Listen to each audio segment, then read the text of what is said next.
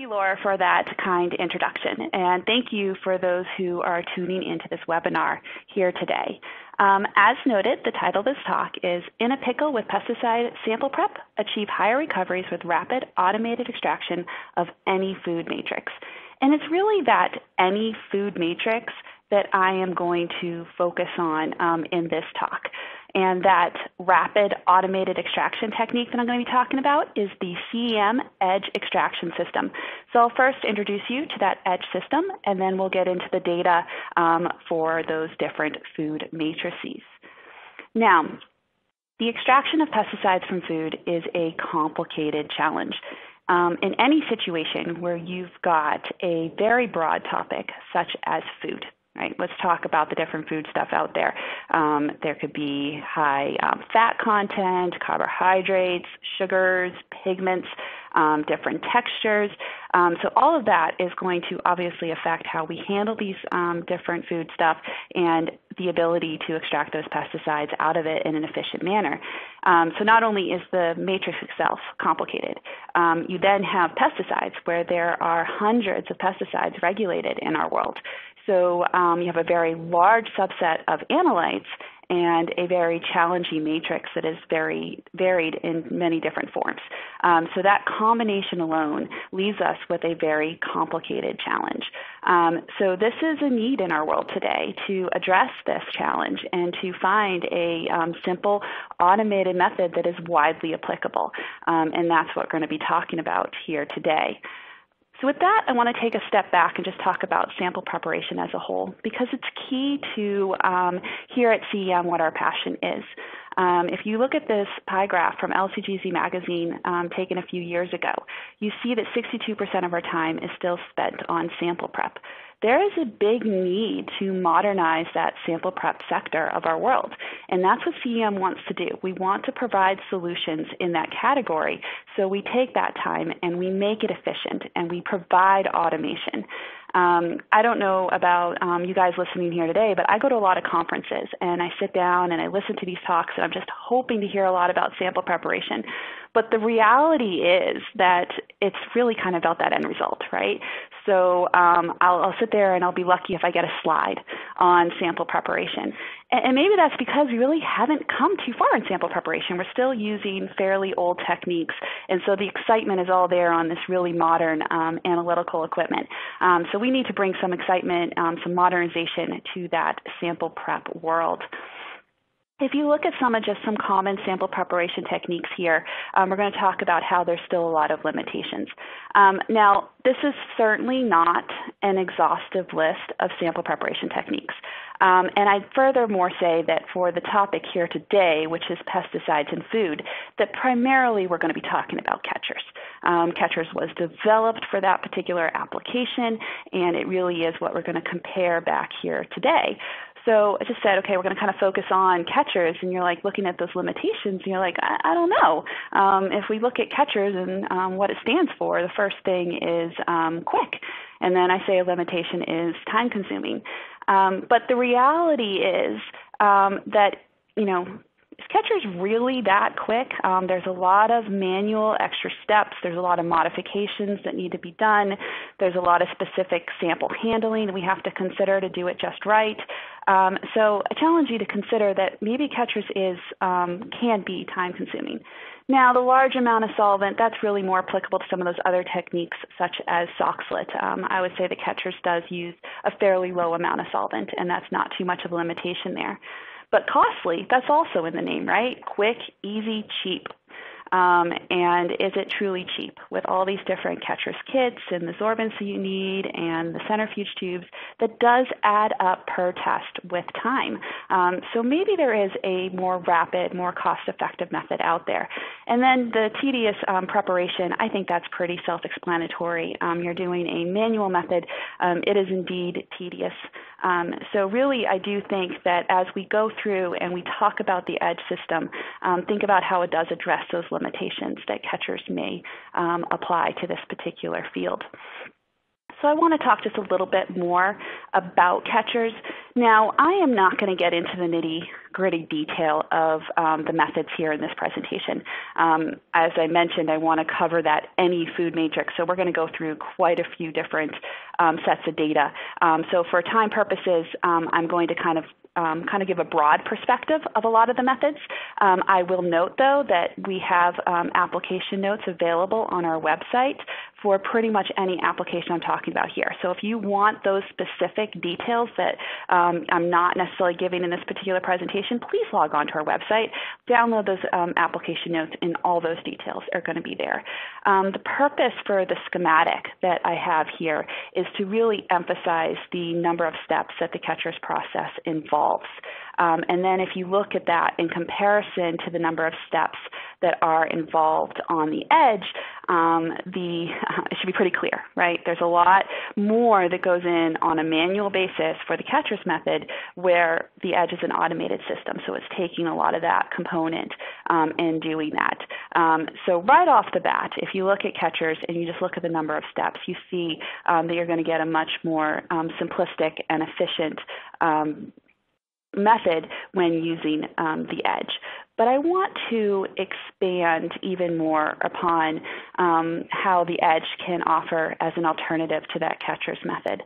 Um, we talk about QuEChERS, the, I, I get it. The reason it is so popular is because it addresses multi-matrix, right? A lot of those different foodstuffs, and multi-residue, hundreds of those pesticides. So when you can use one method to apply to many different foodstuffs and extract many pesticides, then that is appealing.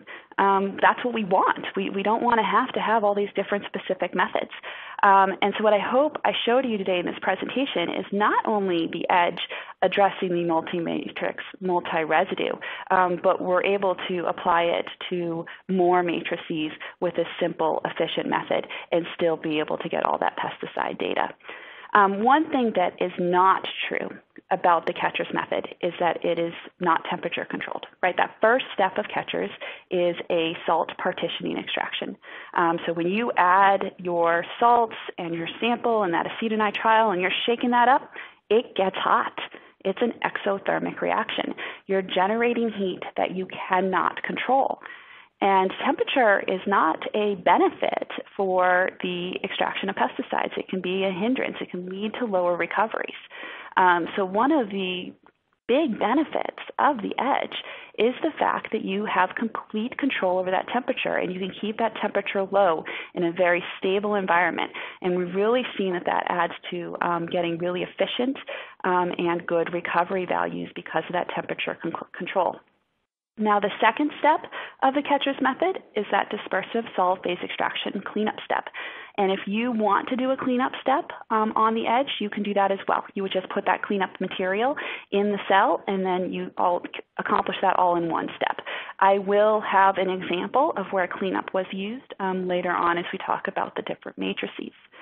Now, what I hope you saw from the schematic is that it's a fairly simple process. Um, and simple and efficient are two of the main keys um, here um, in I, I have a five-year-old at home, and um, one of the things that she's learning to read and everything at school is repetition. Right? It really helps us remember something and learn something, and I think that is true for us throughout life. Um, so I'm going to be fairly repetitive. Um, you're going to hear me say simple, efficient, rapid, some of these keys a lot during this presentation. Um, because if you take anything uh, away from it, I want you to take that away, that we're offering you this simple and efficient um, method. Um, the edge is automated, so that efficiency should be very clear right there. We're taking out that human factor, right? We're, we're taking that out and the error that's associated with that. Um, and when you do that, um, you gain efficiency um, in the automated sector. And one of the more surprising um, benefits that we found when we were looking at the data is we actually are seeing less matrix effects on the edge. Um, and I'll touch upon that a little bit later on in the presentation as well. So when you look at that schematics, right off the bat, it's pretty clear. Okay, less steps, um, and it's automated, so it's efficient. Um, but you get some of these other benefits as well. So if you're currently doing QuEChERS in your lab, I really challenge you to consider um, how the edge might um, modernize and um, advance that workflow that you have. So for me, pictures speak a thousand words. Um, I could sit here and talk to you all day, and if you don't have a picture in your head of what's going on, you may not grasp that whole entire thing. And so you'll also see a lot of pictures because I like them. Um, and what here is I just picked a um, pretty vibrant extract here in paprika. And on the left, you see the QuEChERS extract, and on the right, you see the edge extract. Um, and I don't know about you, but my eyes are immediately gravitated right to that right. Right, it's just pretty, um, clean, and um, I do want to take a quick side note, though, um, that you're probably being, oh, glass vial, that's not so used to my workflow. Um, you can collect in the edge on centrifuge tubes if you want to. So for picture purposes, I've, I've primarily got glass vials in this presentation, um, but please know that if you um, are accustomed to working with centrifuge tubes, you can still work with them. You can collect your extract on a centrifuge tube um, on the edge. Um, but back to the picture, if you look on the catcher side, um, you've got um, all those different layers, obviously, so you would have to go and decant off that top step and then go to analysis. It's just some extra steps, some extra stuff you have to deal with that you don't have to worry about um, with the edge extraction. When that extraction comes off the edge, it's ready to go to analysis. So now I'm going to talk you through a quick video so you have a visual of the edge um, as well. So here's the Edge product. You're going to see our chemist come up here. She's going to grab a Q-disc, which is our filtration disc, put that at the bottom of the Q-cup, and then screw on the bottom. Um, once um, the, the Q-cup is assembled, you can then um, weigh in your sample. It's made out of aluminum, so it's super light, so it can go on an analytical balance. The racks um, are easily slide in and out, so you can be preparing one rack um, as another one is running. A few clicks, and then your method is running. Um, so really, in the matter of seconds to minutes, you're um, prepared and your technician is then doing something else, not having to worry about the extraction because the edge is going to take place. Um, so then the um, edge is going to take that sample cup, load it into the chamber. It does run in series, so um, the extraction takes place in that chamber and it's going to run um, up to 12 samples in a row. That pressure seal comes down, it creates a pressurized environment. We then add solvent from both the bottom and the top. And then an option that we have is um, bubbling. Um, so specifically to some of the food matrices that we'll be talking about here today, bubbling is um, adds to better recoveries. So we're going to agitate that sample via bubbling. Once the bubbling occurs, then we are going to heat and pressurize. That heating creates a pressure differential that's going to cause that solvent on the outside of the cup to disperse up into the cup. So we get a dispersive effect here too. Um, so got a couple different ways of agitation going on. Once sample um, temperature is reached and or hold time is reached, it's then going to drain through the Q-disc, enabling the filtration, through a cooling coil so that you collect at room temperature. And then we add our rinse. So this is just clean solvent that comes through, goes through the sample. We've noticed you just get that extra good recovery value when you incorporate in a rinse. Once your rinse is collected, your extract is ready to go. You can go and take that to analysis. But as I mentioned, we're running in series here, so we need to be cognizant of carryover. So we're going to remove the Q cup, and then we're going to wash the system. And we're going to wash that entire fluidic pathway that saw the sample so that we ensure no carryover. So what you're going to see the system do now um, is that wash. Um, so it's going to go over to that um, back right hand corner. Um, you see our waste bottle sitting there to the side. It then goes in, and like I said, that needle that just suspends your extract, it's going to then wash through that and um, make sure that the entire pathway has been um, washed before you move on to your next sample. Um, one of the feel good things for me about the edge is that the sample after the extraction um, is completely dry, right? That was just minutes ago in um, solvent. And now here it is, and it's completely bone dry, and you have your extract that's ready to go for analysis. And so just looking to see what happens makes you feel like, okay, I think I really got a good extraction here.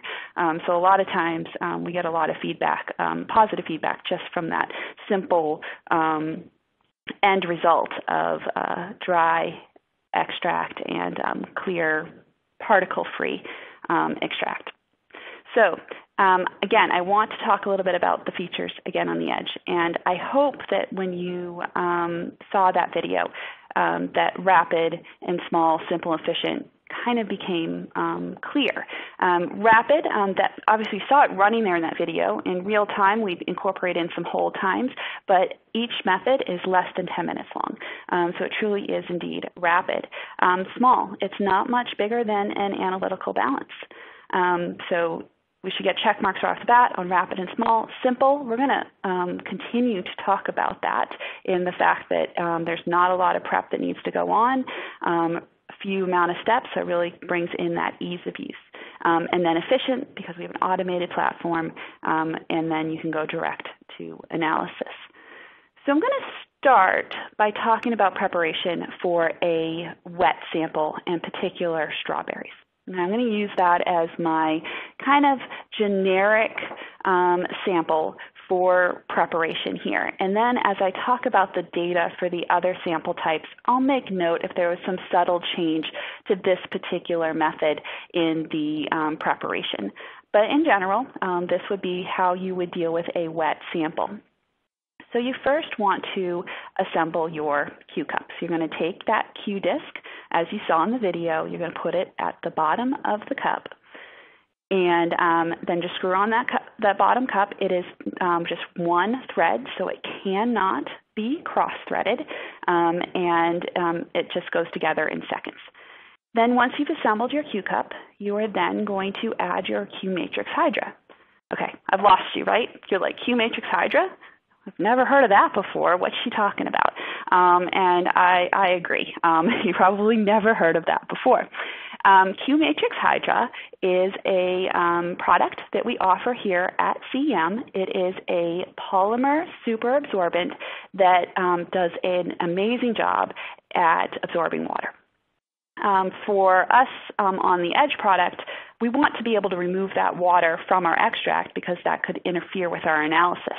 So we want to make sure we get a water-free extract. And to be able to do that, we need this Q-matrix hydra that is going to um, absorb that water so that it's not in our extract. Um, as I mentioned, it's extremely efficient. Um, just 2.5 grams is needed um, for a 10 gram strawberry sample. Um, so just a little bit at the bottom um, is going to do the job, and you're going to make sure that you have a water-free extract in the end. So once in, you add in your Q matrix hydra, you would then weigh in your sample. In this case, we have strawberries depicted, and we're going to weigh in 10 grams. Once you have your sample then prepared, you then want to load it in the rack. You want to make sure that each sample that you're running, you have a vial and or centrifuge tube to collect in. Okay, so once you load your rack, then you just need to select your method and you're good to go. So literally in the matter of minutes, you're running and that technician is freed up to go do whatever else they need to do. Once your extract is completed, um, I do want to note you want to confirm volume. If you are doing quantitative analysis, you need to know what your final volume is. So you're either going to need to dilute up to a known volume or to concentrate down to a volume. And um, CEM can help assist you in either of those. Um, as you see pictured here, you see we offer graduated vials. Also, the centrifuge tubes are graduated as well, so you could just dilute up to a known volume using those graduations. Um, if you did want to concentrate down, we do offer our Q-Dry product, which enables you to do that um, evaporation. But I'd say for the pesticide analysis, in most cases, diluting to a known volume is what is, um, is, is, fine, and it's what we do um, for our data that we'll be referring to in this particular um, webinar. You then, once you've diluted up to a known volume, you transfer to an LC or a GC vial for analysis. Um, I will make a note there on the slide. I say transfer to LC vial. All the data that um, I'll be talking about here today is LC data. Um, but you are not limited by this sample prep to LC amenable pesticides. Um, whatever your current workflow is, whatever analysis you're doing, whether it's LC or GC, you would follow that same sample prep um, for then going to analysis. So I like to keep myself honest and put up the um, analytical method that we ran.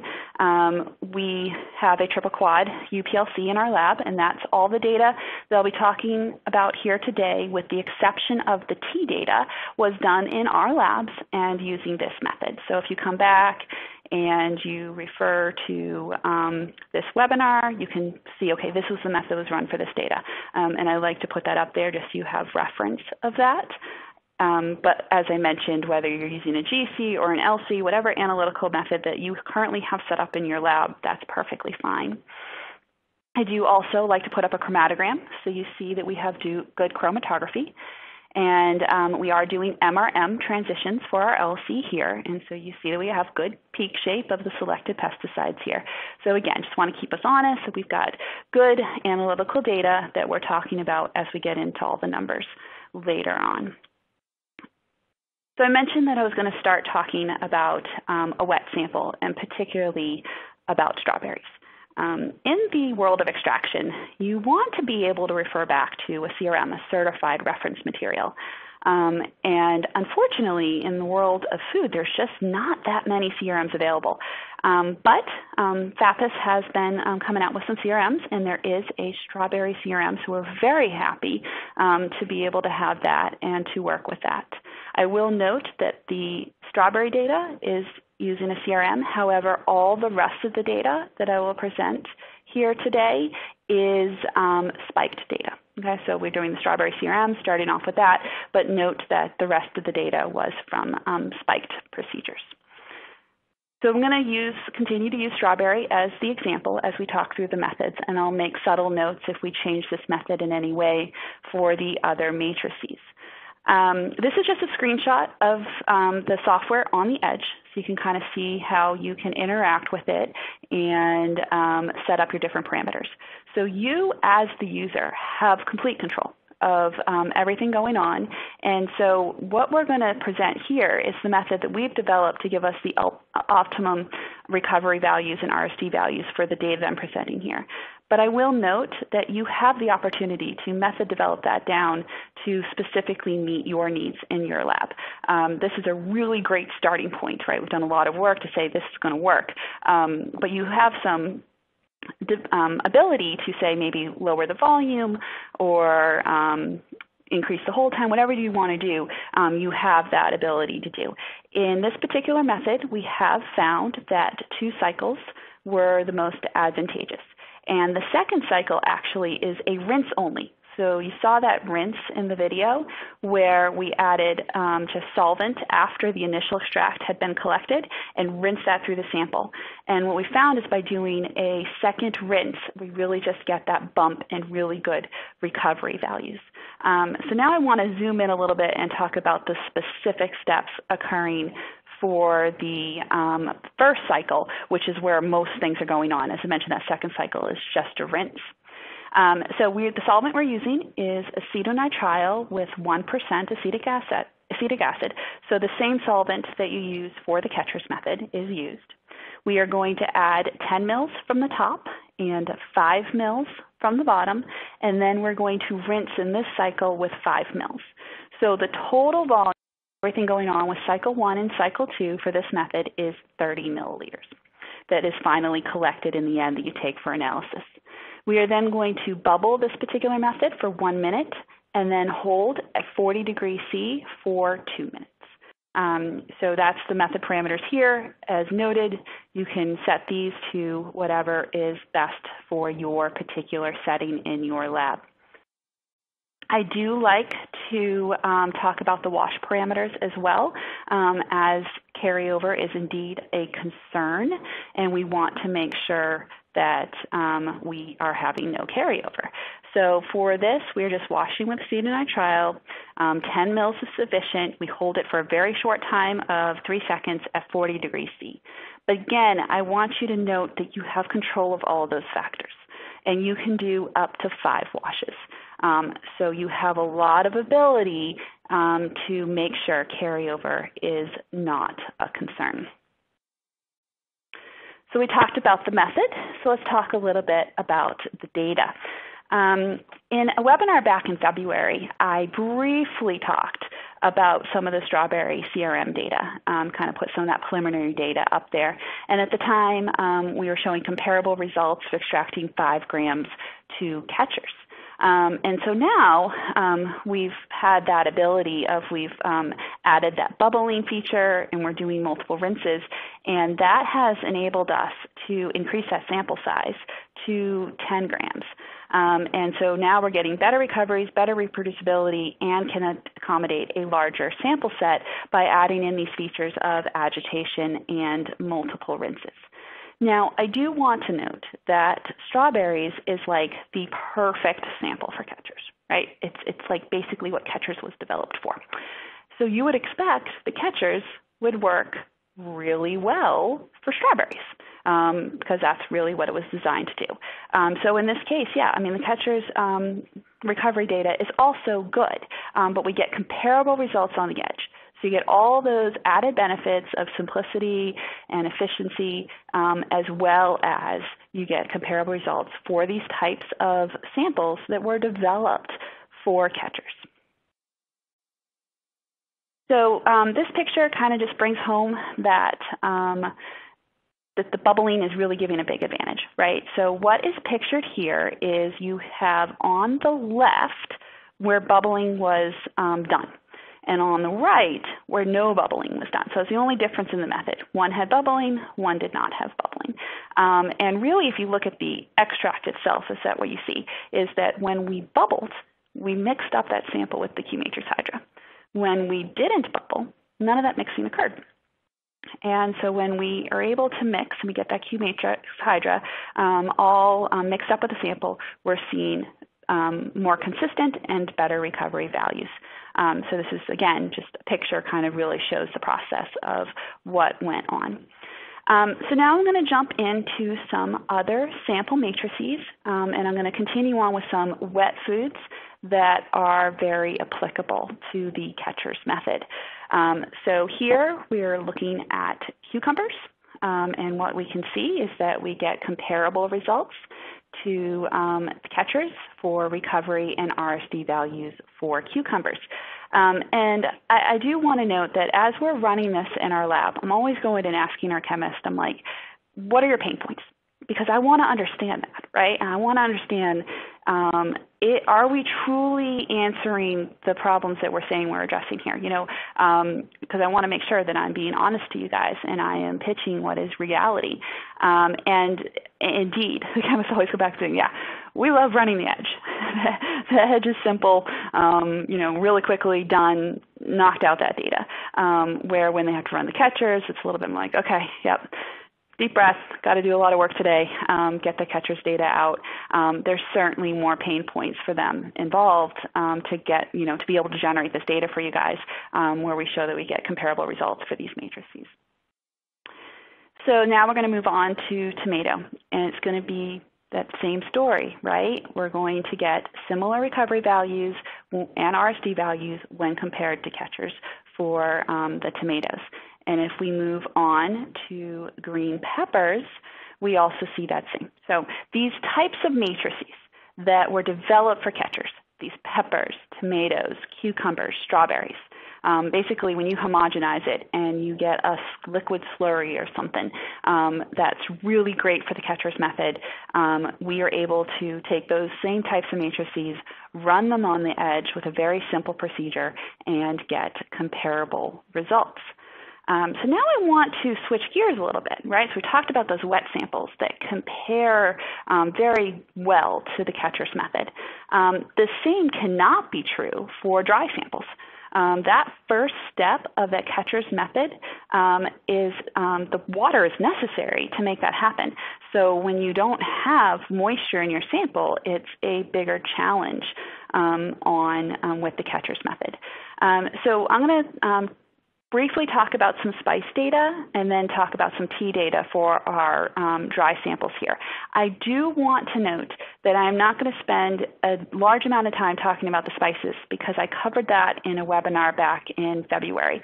That is still available on demand, so if you are curious about all the nitty-gritty details on the spices, please go back and um, download and watch that webinar because that was the focus there. I'm just going to briefly touch upon it here today. So I do want to bring up the QuEChERS method here and talk a little bit about the details because as I noted, QuEChERS really is not as the AOAC approved method, amendable to dry samples. Um, we do may, need to make a few modifications, um, and basically we've got to hydrate it. So I'll refer to it as a hydrated QuEChERS method. Um, so you basically got to add that um, water in so that you have a um, hydrated sample. And then also we're going to take that 10 grams that we've been running for all those wet samples down to 2 grams. So we're going to make those two modifications. But in general, what already was a tedious um, method with a lot of steps, we now are adding more steps and more time to make it amenable to these dry samples. If you look at some of the spice extracts here, um, what you see is that um, we worked with black pepper, oregano, paprika, cinnamon. We get a nice clear extract ready to go to analysis, um, really nice and simple. Um, you know, actually less steps than what we talked about with the wet sample because because these samples on the edge are dry already, you don't need the Q matrix hydra. Um, and you also don't necessarily need that bubbling step either. So some of the um, added um, stuff and a very simple method for the wet foods is even simpler um, for the spices. So we kind of go that opposite direction where the QuEChERS gets more complicated and the edge actually gets easier.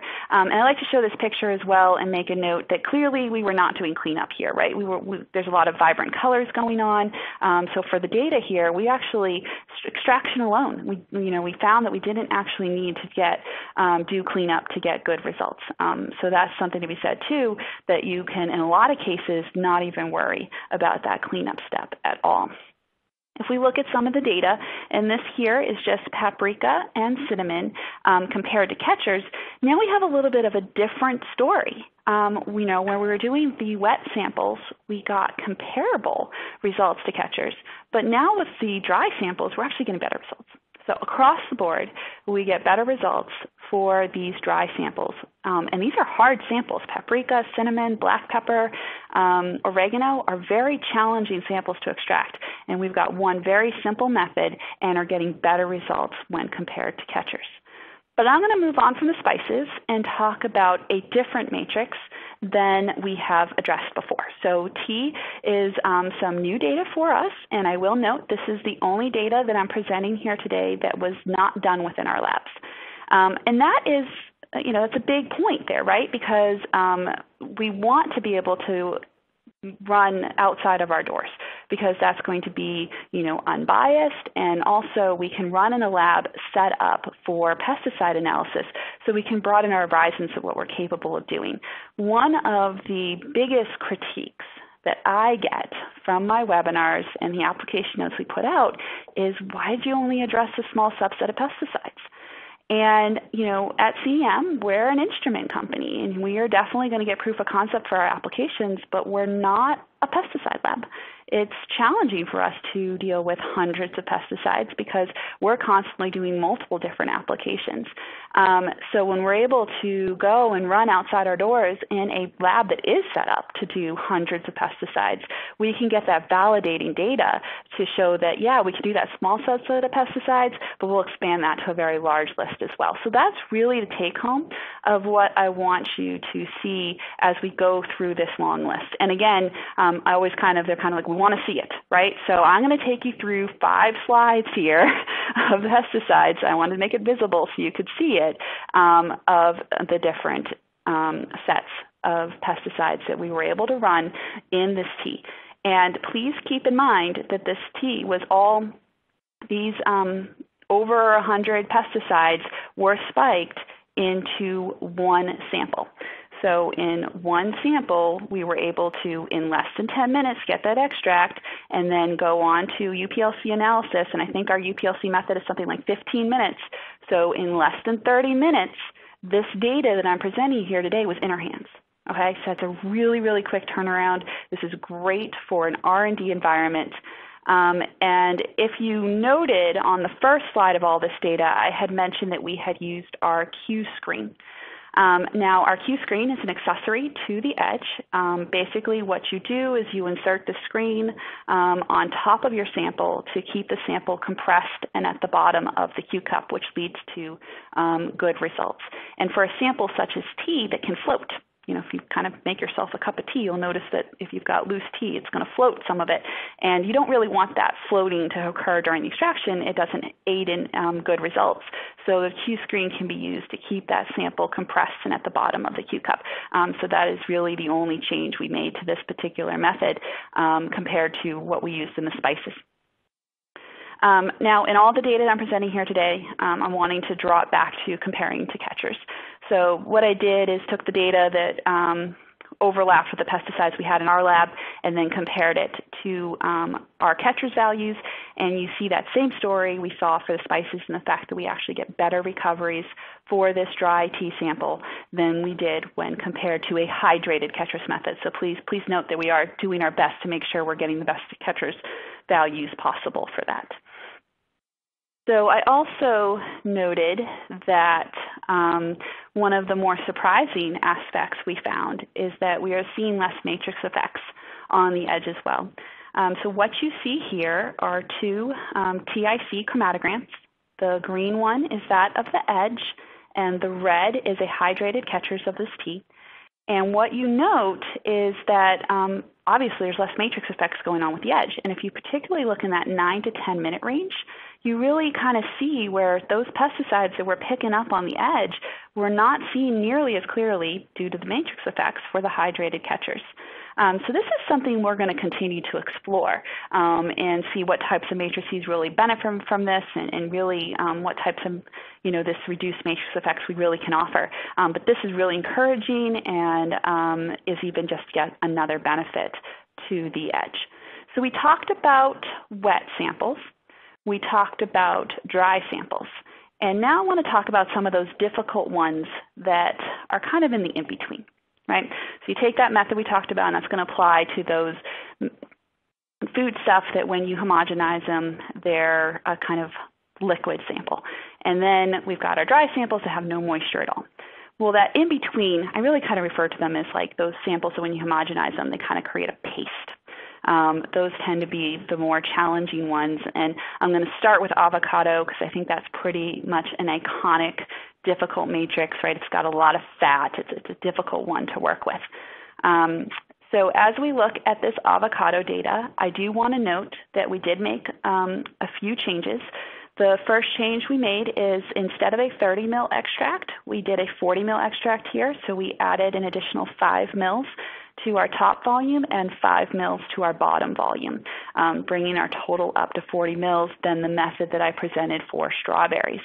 And then also we are going to mix the sample with the Q matrix hydra. If you can kind of you know, vision the fact that if you've got the, the liquid slurry of strawberries and you bubble that with Q matrix hydra, that's going to mix up because it's pretty easy to mix that liquid sample. Um, when you've got that avocado paste after you've homogenized this, um, it's not so easy to bubble um, a paste.